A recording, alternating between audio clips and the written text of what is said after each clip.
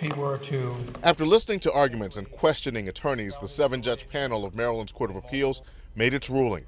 Officer William Porter can be compelled to testify in the trials of Lieutenant Brian Rice, Officer Edward Nero, Sergeant Alicia White, and Officers Caesar Goodson and Garrett Miller. All are charged in connection with the in custody death last April of Freddie Gray.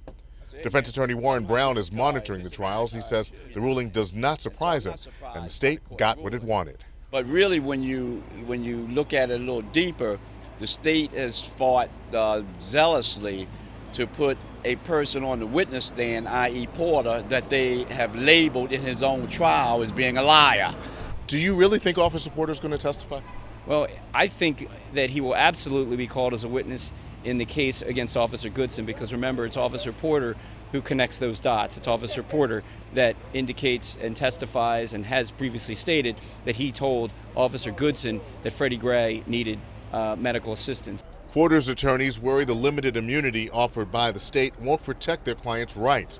And if called to testify, Porter has already said he will invoke his Fifth Amendment constitutional right against self incrimination. If he pleads the Fifth, then the, the judge has the ability to sanction him uh, for not testifying, which usually means locking them up until the case is resolved. I don't see that really happening. The Court of Appeals has yet to release its opinion explaining its decision, which defense attorney Warren Alperstein says will have a significant impact far beyond the Freddie Gray case. From here on in, whenever a uh, uh, the state wants to prosecute co-defendants and use one co-defendant against the other, eh, they in effect will then compel each other to testify. The Court of, of Appeals has since said now they can do that. So you'll have co-defendants testifying against each other, even though they're pending their own trials.